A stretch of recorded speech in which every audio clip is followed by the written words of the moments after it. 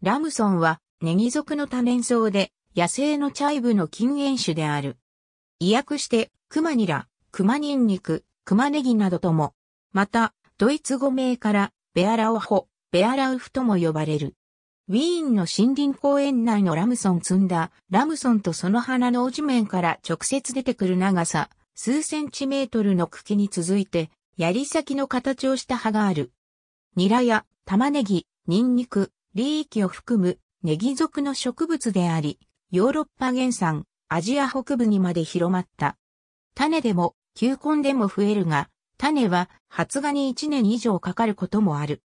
英語では、 ramsons、buckrams、wild garlic、broad-leaved garlic、wood garlic、bear leek、bear's garlic など、また、ドイツ語では、 Bärlauch、Bärenlauch、Knoblauchspinat、wilder Knoblauch、Waldknoblauch、Hexenzwiebel、Zigeunerlauch などの異称がある。他にもヨーロッパ各地における現地での故障として、熊と結びついたものが多く見られるが、由来は必ずしも明確ではない。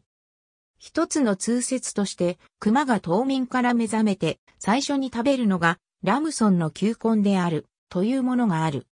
学名アリウムワーサイナムは熊ネギまたは熊ニンニクの意味である。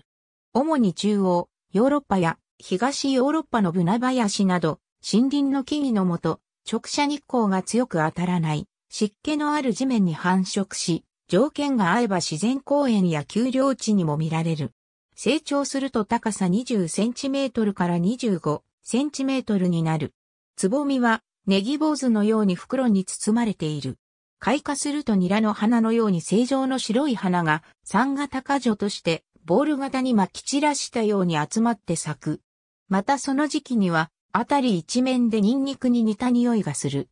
ニンニクやノビルなど、他のネギ属で見られるような玉芽はない。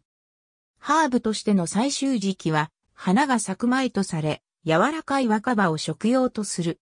現地の人々は刻んだラムソンをサラダに混ぜたり、スープの浮き身にしたり、スパゲティのペストにしたり、フレッシュチーズやクリームチーズと練り合わせてパンに塗るチーズスプレッドとする。ヨーロッパ在住の日本人の間では幅広い派ではあるが、ニラと呼ばれ、刻んで餃子や卵とじに料理される。鉄分、マグネシウム、マンガンを含有し、また緑黄色野菜としてビタミン源ともなる。